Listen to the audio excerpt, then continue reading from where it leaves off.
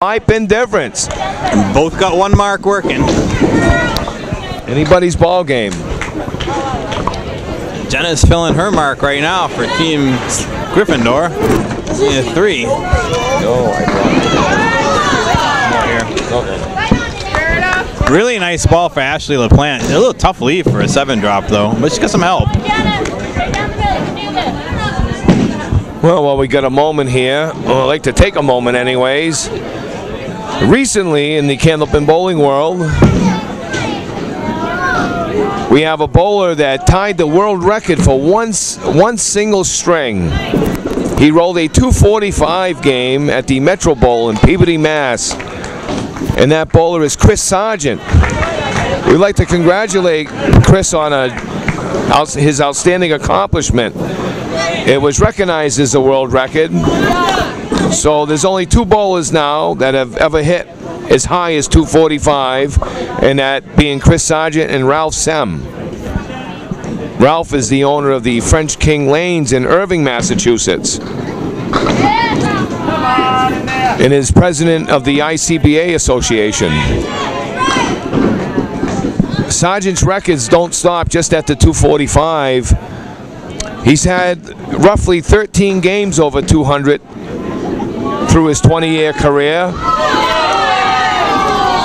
And he's had over 500 on many occasions as well, proving that he's definitely one of the top bowlers to ever play the game.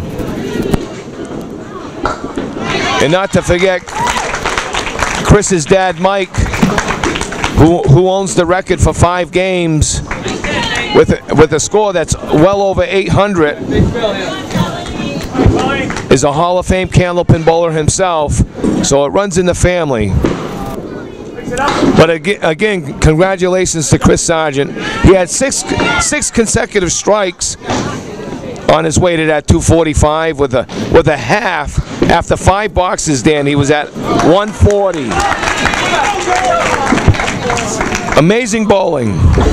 Yeah, I hit 240 before myself. It just takes me two strings. Takes me though. three strings, shoo. Yeah. No, congratulations, Chris. That was an amazing string. I'm just glad I wasn't still on his team. I would have owed him a dollar for the string. Takes my dollars all the time. I've seen some amazing bowling through the years. I, w- I would have loved to have seen that take place. I've seen David Godwin roll a 230 something game. I've, I've seen Tommy Olster hit over 500. As a matter of fact, I kept score for that. Yep. I've seen my father roll over a, a 200 a couple times, and I've seen Ulster hit a, uh, a few 200 games. So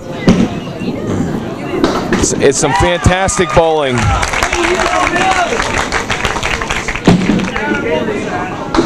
We're approaching the halfway point. Starting to get some marks up there now too. Both teams mark in the last two boxes.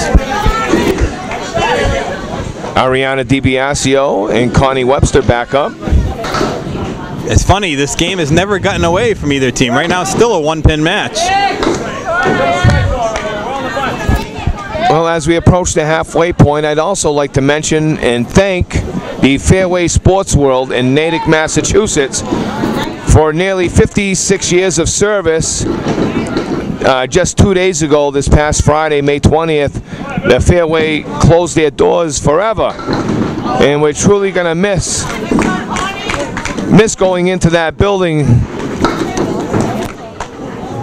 for whatever the case may be, tournaments, social bowling. Uh, it's it's definitely a, a sad time for the the candlepin world losing such a fine establishment as the Fairway on Route 9 in Natick.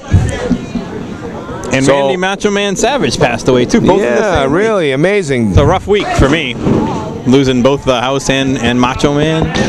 He was I was also a fan of the uh, the Macho Man. Snap into a Slim Jim. So I just want to thank Helen Salou again for 55 to 56 years of service. It was truly a pleasure going there from year to year. Yeah, it's a true house. I, I, I bowling there a lot in, in the last couple years in some leagues, and uh, you know, you got what you hit there, and never did anything fancy to it. No juice, no nothing like that. It was always very fair. And she had a beautiful Christmas display she would put up every year. She sure did. People came- it was worth thousands of dollars. Animatronics everywhere. People came from all over the place for that. All right, well, we're at the halfway point, Dan. Gendro with a tough 40 half. He'll be looking to regroup in the second half. Boudreaux with a solid 65. The total is 265 to 264. Uh, excuse me, 261 in favor of Gryffindor. And I get it right that time, You Dan? got it right. You're you're right on top of things. All right, I'm, I'm getting a thumbs up from all the bowlers here. Look at Ashley LaPlante. Yeah, right down the middle. The pins didn't give her a thumbs up. They gave her a, a finger on that one. Whoa, what a shot, Dan! Oh, yeah! Yeah, she What a great pump. I try mean- by LaPlante. That was worthy of an arm pump. That was a nice ball. Steves will take seven. She's at 46 after six. And in these one and four point matches, you don't need to make a mark every box. Every make pin important. Right. It's picked up four pins right there. Yeah. And it's a one pin match. Ashley, Ashley LaPlante's at 48. Mr. T's up there now. Name is Mohawk versus The Daily Show. Nathan. Let him go first.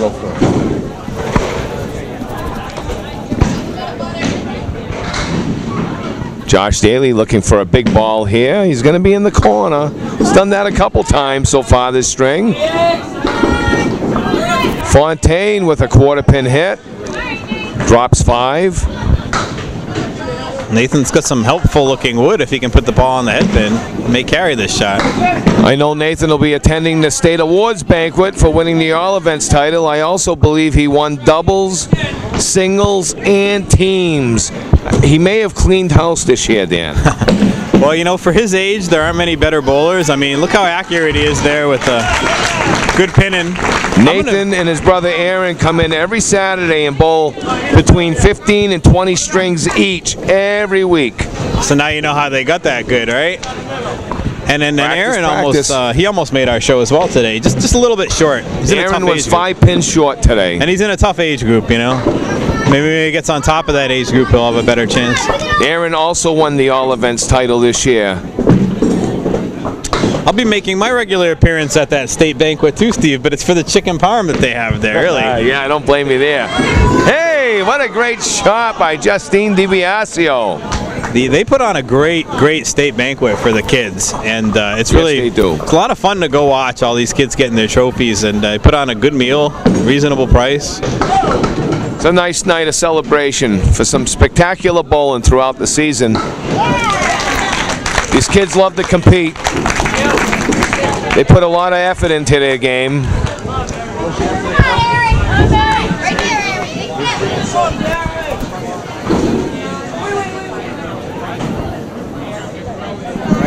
We had a score correction.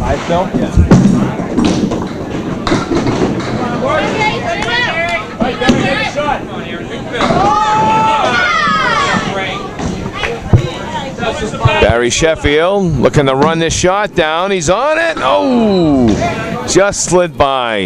Didn't miss it by much. Ooh, look at this! That was a great try by Aaron Souza Jr. I was.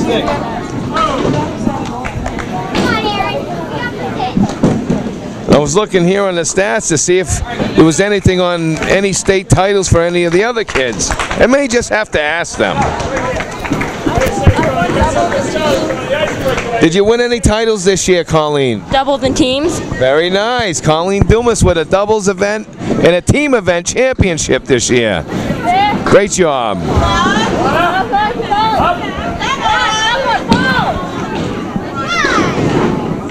It's a couple of nice breaks for the ladies, Dan. Yeah, both of our ladies have very makeable off-head pin leaves here. Nice shot. One three pockets the object. Just a little heavy. Little heavy, a little tight on the pocket. Connie Webster, same shot. What That was wrong with that? perfect. What was wrong with that? That ball looked perfect. Sometimes there's no justice in this uh, in this game. Almost. It can be frustrating at times. I almost would like to see a replay and see where the pin went. Ariana with 10, she's at 49 through 6. Connie Webster with a 9, she's at 51. Corey's overdue for a mark. I say. Back to the anchor man. Corey's capable of putting three, four, five marks in a row together this half. He's thrown a lot of strikes earlier, so he's due for one of those. This will be Corey's last string in the youth divisions, and here's the hammer. Did I call it or did I call it? Big strike for Gendro. Boudreaux wants to spare, I'm psychic. unable to carry the four horsemen. That's a big ball for Gendro. Said this is Corey's last last time he'll be bowling as a youth bowler. He graduated high school this year and he'll be moving on to bigger and better things.